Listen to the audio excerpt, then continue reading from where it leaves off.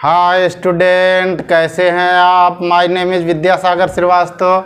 देखो स्टूडेंट, इस समय हम लोग पढ़ रहे हैं फ़र्स्ट ईयर एनसीईआरटी के numerical chapter laws of motion हमने लिया है question number 4.18 according to new book 5.18 according to old book two billiard balls each of mass 0.05 kg moving in opposite directions with speed 6 meter per second collide and rebound with same speed what is the impulse imparted to each ball due to the other let कर लिया हमने let two billiard balls are A and B mass of the balls M A is equal to M B zero point zero five K G वो given है यहाँ।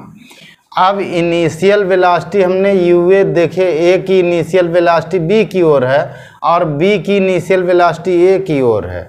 तो U A दे रखा है सिक्स मीटर पर सेकेंड और U B हमारा opposite direction का है तो माइनस का हो गया six metre per second final velocities यहाँ वी ए है तो ये कह रहा रीबाउंस हो रही तो जितनी स्पीड से इधर आ रही, उतनी इधर जा रही है।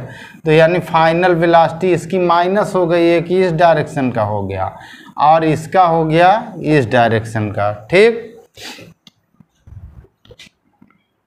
इम्पल्स इम्पोर्टेड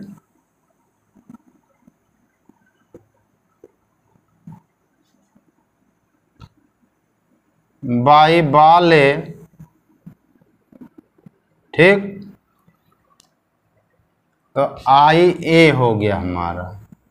और इज़ इक्वल टू होता है change in momentum change in momentum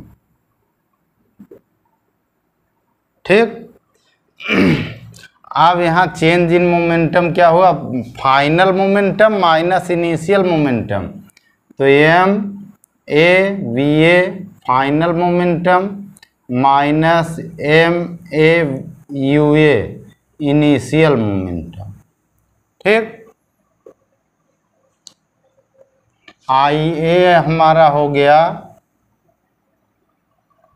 M दोनों में कामन है एम कामन ले लो।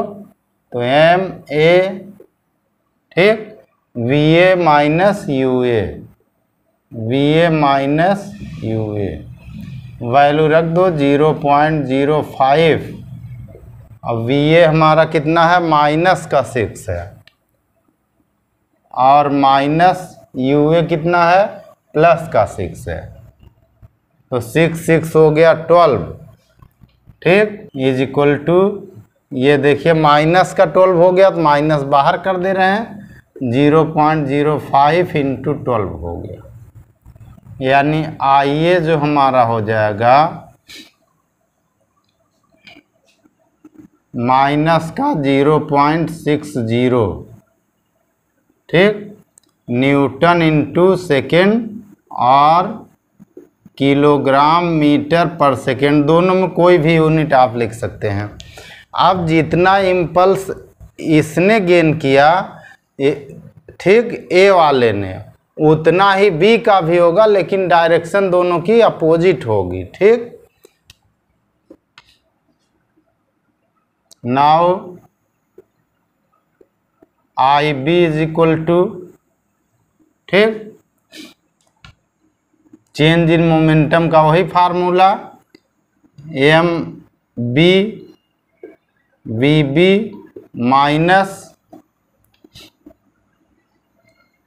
M B U B M B common ले लो। ठीक वी बी हमारा है। Minus U B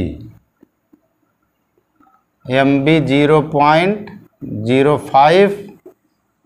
V B हमारा है six. Minus minus plus six हो गया। Zero point zero five into twelve ये आ गया zero point six zero I B ठीक? यूनिट दोनों कोई भी लिख सकते हैं, न्यूटन इंटू सेकेंड और kilogram metre per second kilogram metre per second और न्यूटन इंटू सेकेंड तो ए का जो इम्पल्स है माइनस का zero point six zero newton second or kilogram metre per second B का जो इम्पल्स होगा, वो ज़ीरो पॉइंट सिक्स ज़ीरो होगा। यहाँ माइनस है, यहाँ प्लस है, यानी दोनों इम्पल्स इक्वल होंगे, पर इनकी डायरेक्शंस अपोजिट होंगी। ओके स्टूडेंट आप हमारा चैनल देखते रहिए लाइक और सब्सक्राइब करते रहिए, और अपना ज्ञान बढ़ाते रहिए। Good day students